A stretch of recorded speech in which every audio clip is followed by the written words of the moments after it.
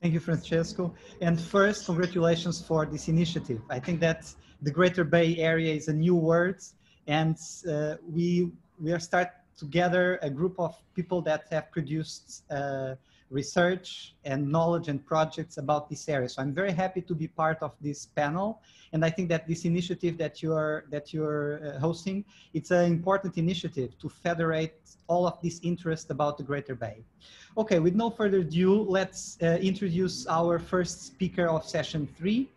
Uh, so our first speaker will be Matthew Carmona. Matthew Carmona is professor of planning and urban design at the Bartlett UCL is an architect and planner with research interests in the fields of urban design governance, the design and management of public space, and the value of urban design. He, he chairs the uh, Place Alliance and edits placevaluewiki.net. His research can be found at his own website, matthewcarmona.com. So please, uh, Matthew, the floor is yours. Thank you very much, Nuno. So let me just share my screen. Okay, uh, and uh, that one. Okay, so I'm going to talk about um, the publicization of private space and the thorny the thorny question of public space and who owns and manages uh, manages it has uh, long been debated, of course, with with great passion around the world. And I'm going to talk today about uh, a, a, recent piece of uh, research that I, well, a piece of research that I've recently published, uh, which looks uh, at London, but I think um, uh, the, the, the, issues that it addresses are, are, very relevant to the Greater Bay Area. I know Francesco's work in particular has focused on, on these aspects. Um, and um, so I hope it will have resonance to, to, to, the wider discussions that you've been having.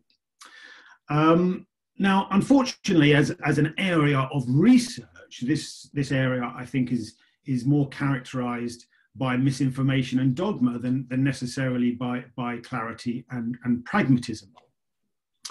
And certainly recently uh, in London, there's been much hyperbole about the so called privatization of public spaces. And crudely, this can be represented as a sort of tussle between two contrasting, quite polemical positions. Um, so in the UK, the, the debate has been spearheaded by the Guardian newspaper uh, in a series of pieces that has fo uh, have focused uh, primarily on London and have attempted to map and um, sort of denounce uh, the privately owned and managed spaces that, that feature at the heart of many regeneration projects across the city.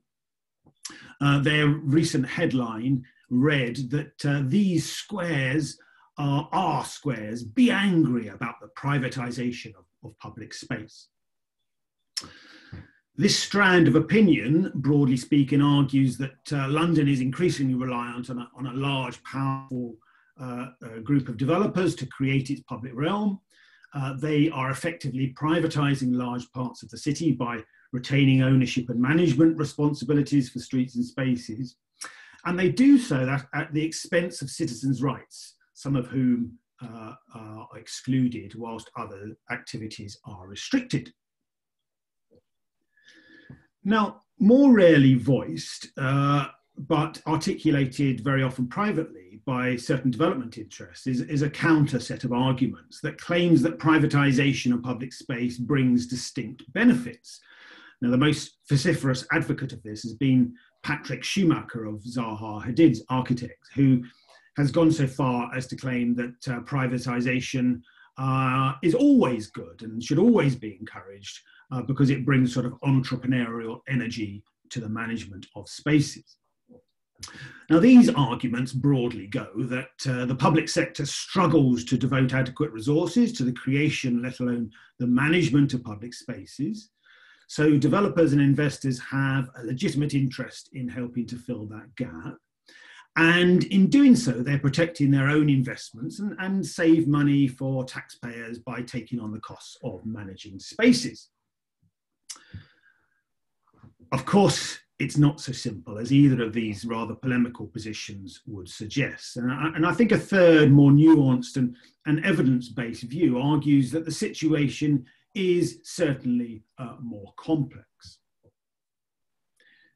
In reality, uh, the term privatization of public space is itself hugely confusing because it assumes that once publicly owned and managed spaces are somehow becoming private uh, in a sort of new wave of enclosures, echoing the enclosures that we saw in England in, from the 16th century onwards from, in, in our rural areas, but this time urban.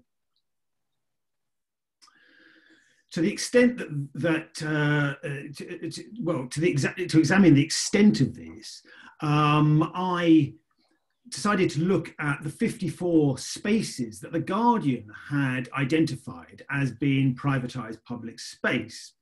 And to do that, uh, I used initially uh, contemporary plans, which I overlaid with uh, onto historic plans of these parts of London that uh, had these various projects. And what the analysis revealed is that real privatization actually is very, very rare indeed. It almost never happens in London. Instead, what we've seen in London over certainly the last three decades is an opening up through redevelopment of formerly private, walled, and gated off areas to public use through large scale redevelopment schemes usually of former docks, industrial areas, bits of redundant infrastructure, and so forth. So if you interrogate, and I did interrogate the Guardian data, what it reveals is that, that in fact, that 84% of those spaces that, that, that they looked at uh, were in fact uh, formerly private spaces, entirely private spaces that had become public. And the remaining 60%, 16% uh, were historically privately owned and managed spaces, uh, but with public access. So bringing space properly into public use, even if it remains in private ownership, is arguably a significant public gain. Um, so we might call it the publicisation of private space rather than the other way around. And a classic example of that would be somewhere like King's Cross uh, in London, which um, is one of the case studies uh, that the Guardian picked. Now, this was a former railway lands, entirely private, not with no access to, to, to the public, um, which has been created into a new uh, uh, quarter uh, in London. Entirely uh, owned and managed by a private corporation. Um, but giving much back to society, I think most people would, would recognize in, in a, new series of public spaces, all sorts of activities uh, going on throughout the week, throughout the year, um, at least when COVID's not stopping them, um, all maintained uh, at uh, largely private expense. Um, and as I say, uh, lots of you know bags of character and um, an interesting uh, sequence of events and activities. Now, of course, cities have always been full of privately owned but publicly accessible space. Uh, this is a sign which happens to appear on, on, on the side of one of our Bartlett buildings. Uh, most people don't notice it as they, as they walk past the street, but it, effectively it says that half of the street, as you walk down it, is actually owned and, and managed by UCL um, and it's preserving those rights. And most people don't notice that, and they just walk on the private and the public bits together. And cities are like that. They, they contain lots of private space as well as uh, public space. Now, I would argue that morally and pragmatically, it matters little who actually owns and manages public spaces. Um, there can, there can even, as some argue, be cost savings to the public sector through not taking on the responsibility of management. But, and it's a big but, what matters is how public spaces are. In other words, what are our rights as citizens within spaces and what are the responsibilities to us of those who own and manage those spaces. So if we look at this issue from an alternative viewpoint, many publicly owned and managed spaces are often themselves highly restrictive. Um, this is a notice in one uh, outside one um, uh, Victorian city hall uh, which lists 32 bylaws with all sorts of restrictions, including some very strange ones, like you're not allowed to use metal detectors or fly model aircraft or collect birds' eggs. Also, some more worrying ones. Uh, you're not allowed political demonstrations. You're not allowed to collect money. You're not allowed uh, to uh, begging and, and performance. Now, this is an entirely publicly owned and managed space. If we look at Trafalgar Square, it has an even longer list, including restrictions on taking photographs without written prior permission for the purposes of, uh, of or connection with a business, trade, profession, or employment. So I took this uh, picture uh, as a part of a piece of research I was doing a few years ago in connection with my employment as an academic. So, strictly speaking, the picture is illegal.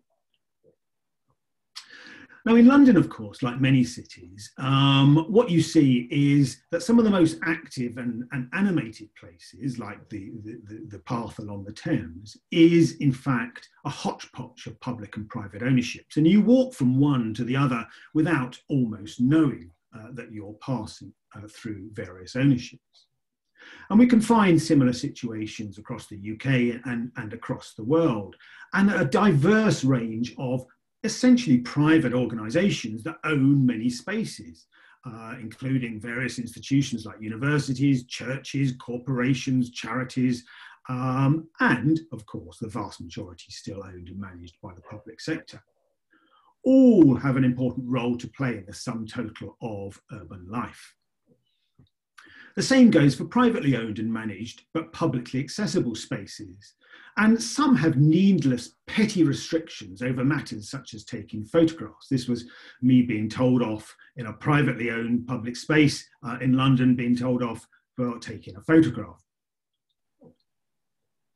What detracts is uh, when spaces that should be open and unrestricted for various reasons are not, whether they're private uh, or public.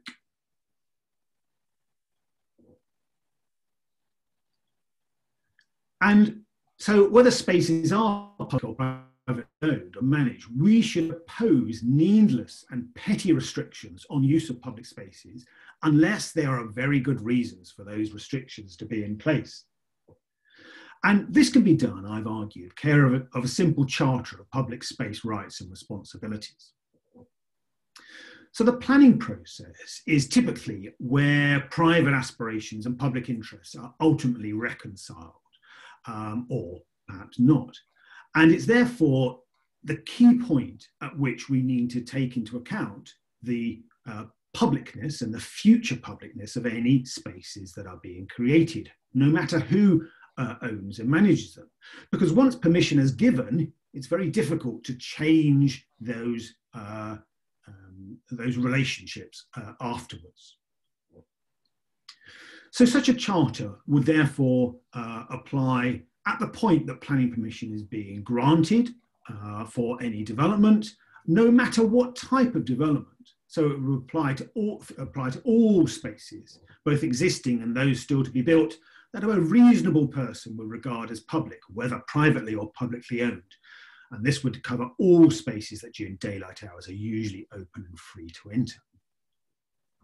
Now, quite a few years ago now, I published a, a sort of straw man charter, pub, uh, uh, charter of public rights and responsibilities as a way of encouraging debate.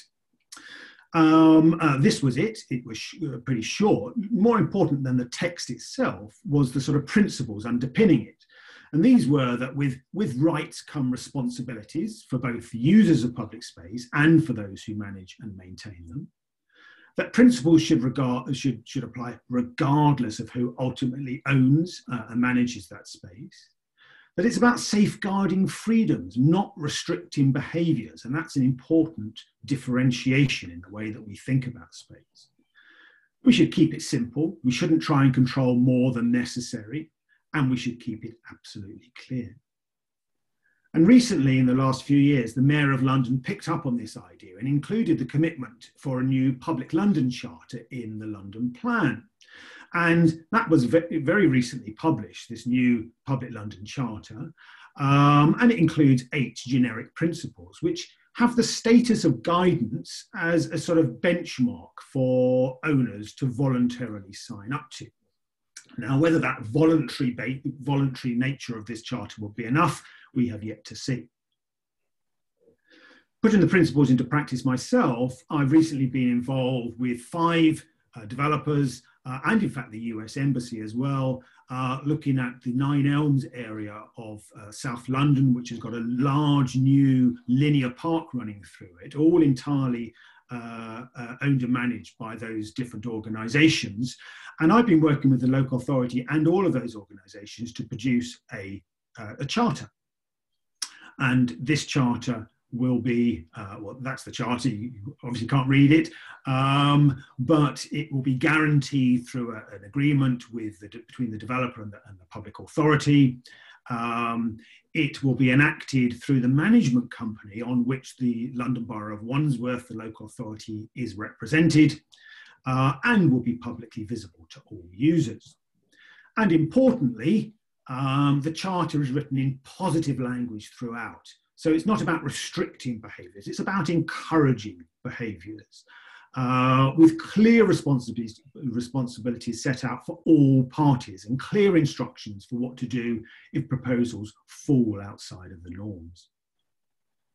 So, to conclude, cities are diverse places. Diversity is in their nature, it's part of their essence, and, and we should not restrict them and uh, their public spaces into a sort of one size fits all design and management approach simply for narrow political or dogmatic reasons. At the same time, we do not need to safeguard um, the rights and responsibilities uh, of all. Sorry, we, we do need to safeguard the rights and responsibilities of all. Um, and it's important that the public sector takes the leading role in that in safeguarding the publicness of all spaces across our cities, wherever they happen to be, and regardless of ultimate ownership and management. Unfortunately, uh, this is a responsibility uh, which is often not taken nearly seriously enough.